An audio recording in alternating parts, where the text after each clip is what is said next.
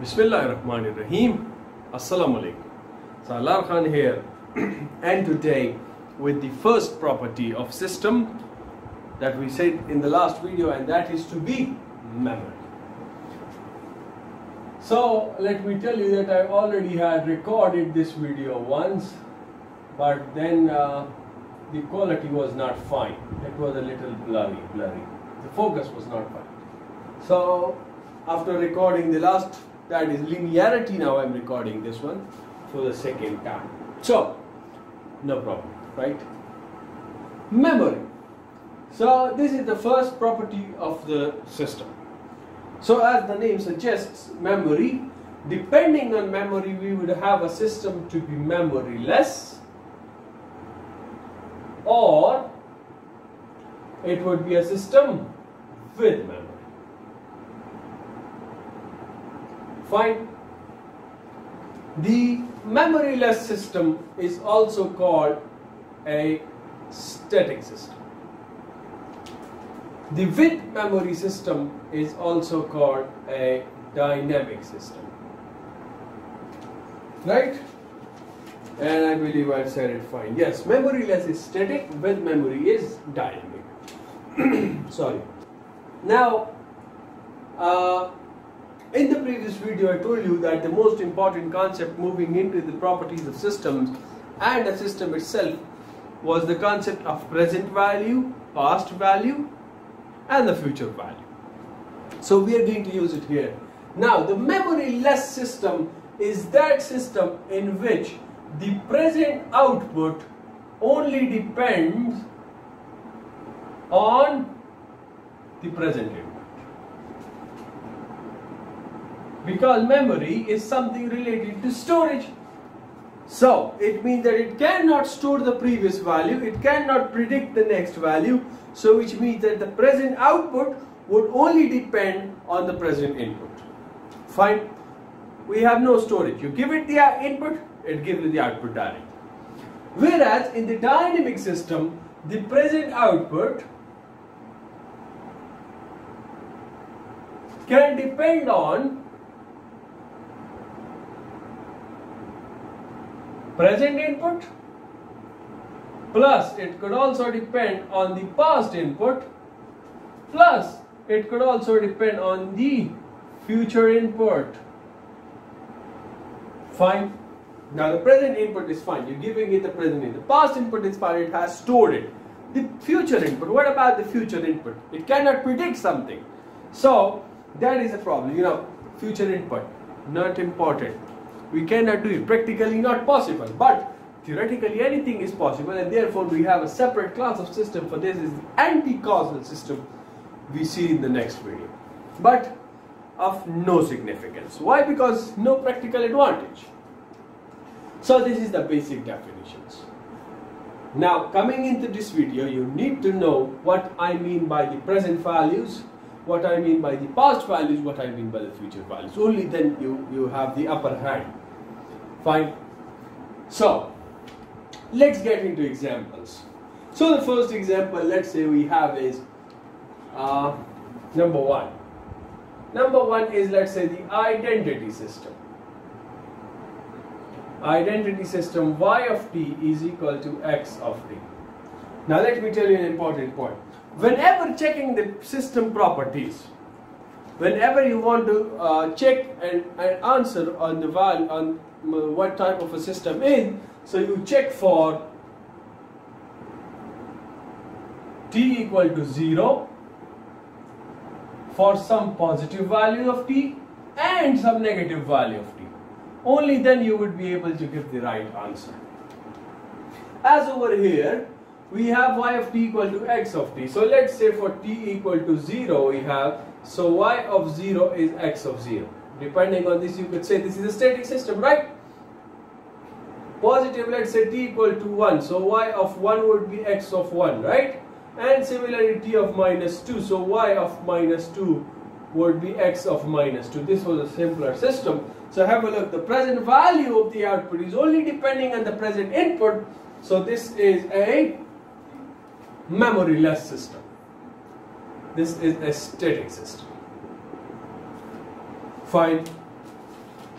The second is the delay system. y of t equaling x of t minus 1. So, have a look. For t equal to 0, y of 0 would be x of negative 1. So have a look. You can say directly it is depending on the past input. So this is a dynamic system. But let's say we have y of 1, so this would be x of 0. y of negative 1 would be x of negative 2. So all the present outputs are depending on the past inputs, so which means that this is a system with memory, which means that this is a dynamic system. Fine. Number 3. x of 2t. Number 3. y of t is x of 2t. So what do you have in this case? Have a look again. y of 0 would be x of 0. Now if you if you characterize it until straight away that the present input is on the present output, so you have it wrong in this particular case. Why? Because have a look now for positive value, let's say y of 2, so this is x of 4. So the present output is depending on the future value. Similarly, y of negative 1 would be x of negative 2. So a present value is depending on the past value. So this means that this is a system that has memory. This is a dynamic system. Whereas if you would have characterized it straight away on the basis of 0, it would be what? It would be what? It would have been wrong. Fine? So have a look. We uh, we have time shifting involved over here, right? We have uh, time scaling involved over here. So we have we can now have a conclusion over here is that systems involving time transformation and this time transformation could be both scaling and shifting time transformation are dynamic systems. Whenever you have time transformation involved, you would have the system to be a dynamic system.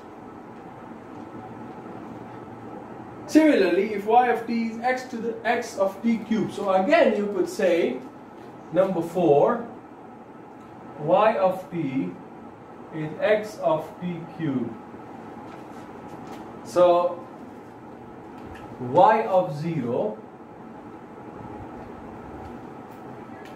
y of 0 would be x of 0 say y of uh, 2 is so have a look 2 to the power 3 so 2 to the 4 4 2 are 8 and similarly y of minus 2 so x of minus 8 so have a look. We have the present value, we have the future, we have the past.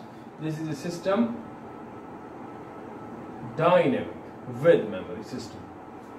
So you could also say that this is a case of time scaling, you know, but this is different. So I would write it different. The system involving time transformations are dynamic systems. We have another one.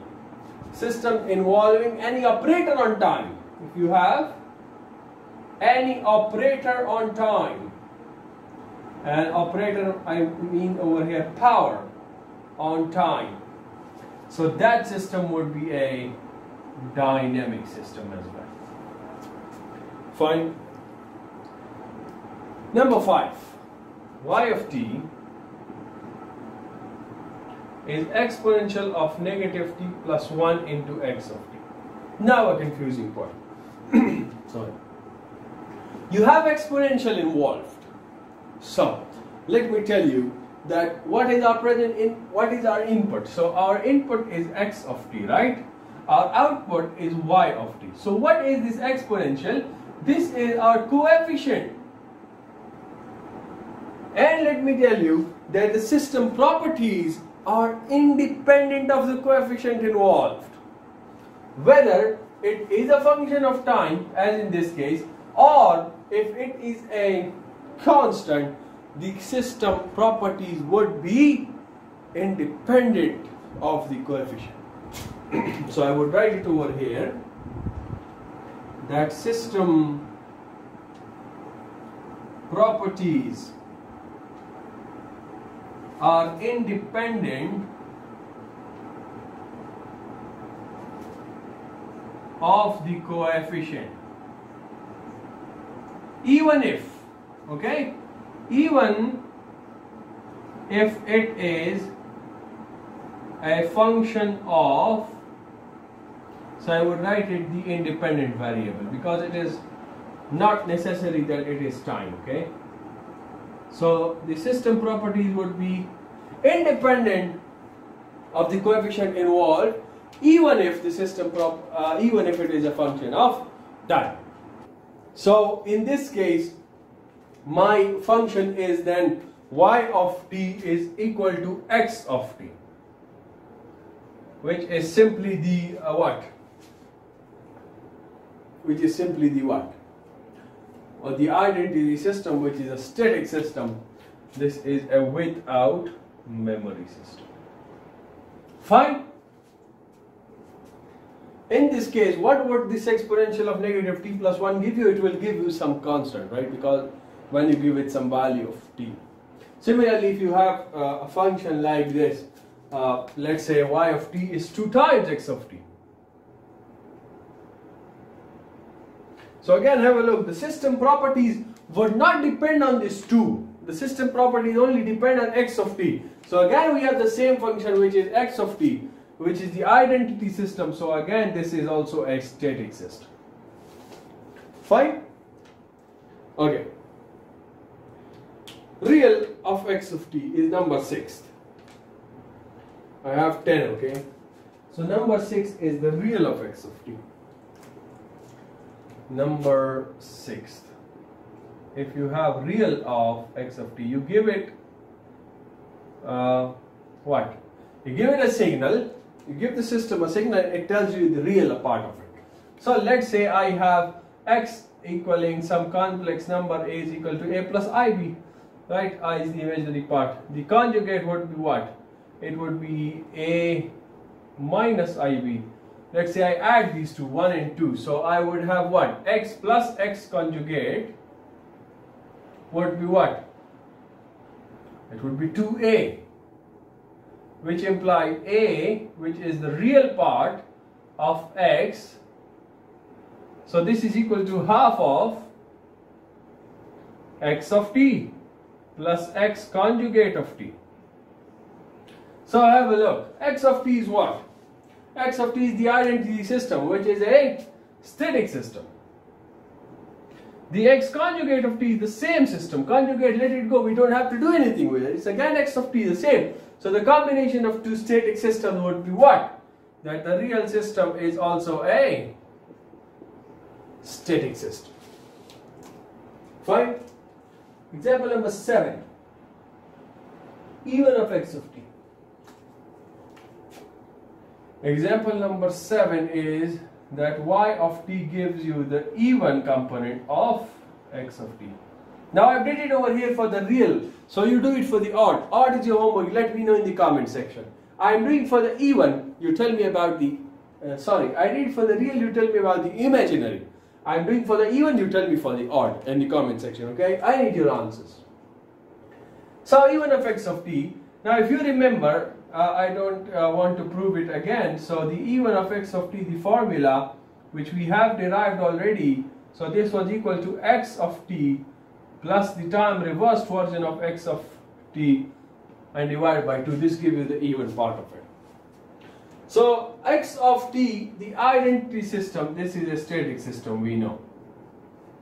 x of minus t, we have time transformation involved. So system involving time transformations are dynamic systems. This you have done on the basis of properties. So which means the static plus dynamic would give you the system to be a dynamic system. Or you can do it again uh, as you know uh, you do it uh, normally y of 0 is equal to half of x of 0 plus x of 0. Fine. Y of 1 is let's say half of x of 1 plus x of negative 1. So have a look. This is the case. Fine. Number 8. y of t is x of sine of t. Number 8 is what? y of t is x of sine of t. So now for this, we need the values of t. So let's say at t equal to 0, we have what? y of 0 would be x of sine of 0. And sine of 0 is also 0, so we have x of 0. So have a look. The present value, at the present time. t equal to pi. y of pi would be what? x of sine of pi which is again x of 0 t equal to pi by 2 y of pi by 2 is x of sine of pi by 2 which is x of 1 so have a look. t equal to pi x of 0 the previous value. t equal to 0 x of 0 present value. Pi by 2 x of 1 this could be uh, this is also the past I believe. So but it is involving memory. You can see it generally. So this is again the case of time transformations. Generally, you could have seen it from the uh, what? From the property. So this is again a system that is with memory. Isn't it so? It is. So two, uh, two examples are left. The most important one. So let me have some space.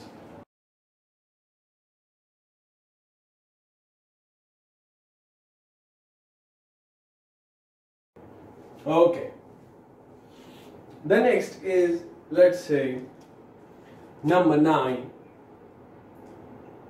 is on integration. y of t is negative infinity to t x of tau d tau. So, what is this system doing? This is doing what? Integrating the values. So let's say this is your negative infinity. This is somewhere your t. This is your tau axis. This is your x of tau axis.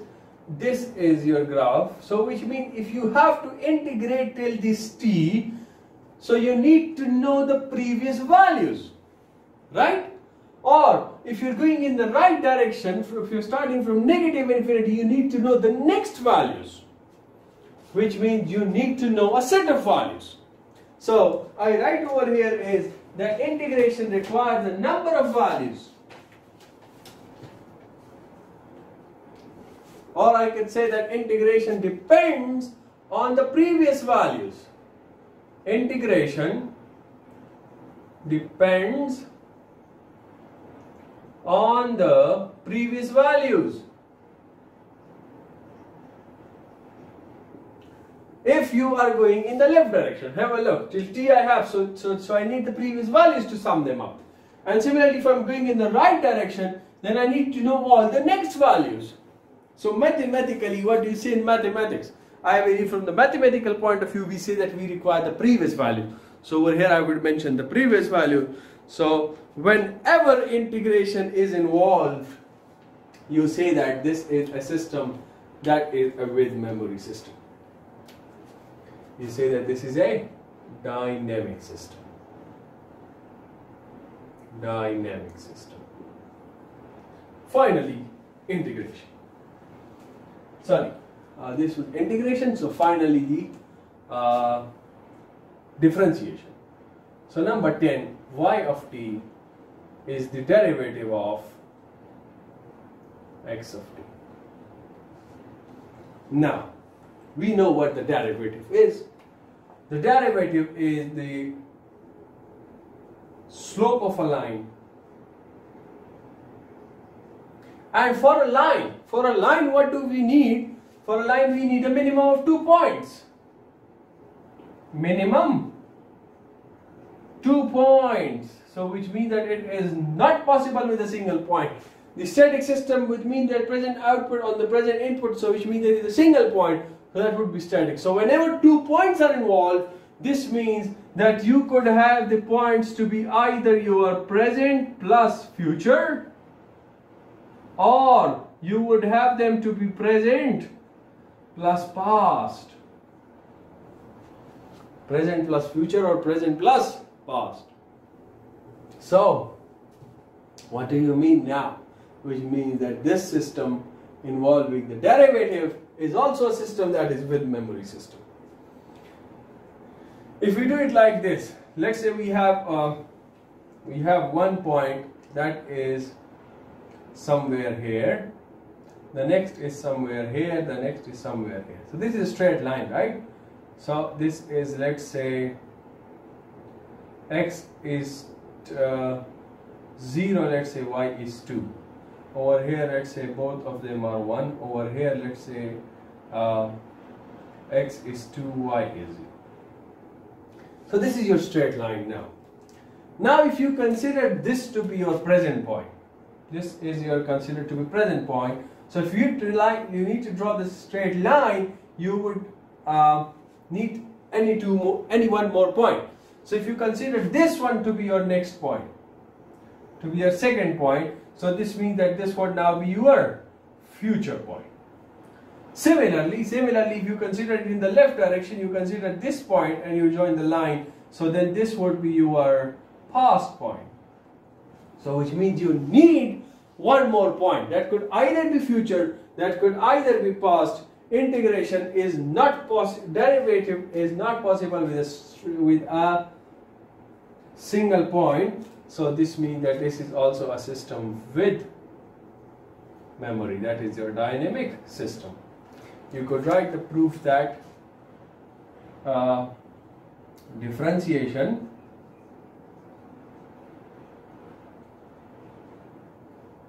is not possible with a single point. Fine. And if I write it over here in the conclusions also that whenever you have integration and differentiation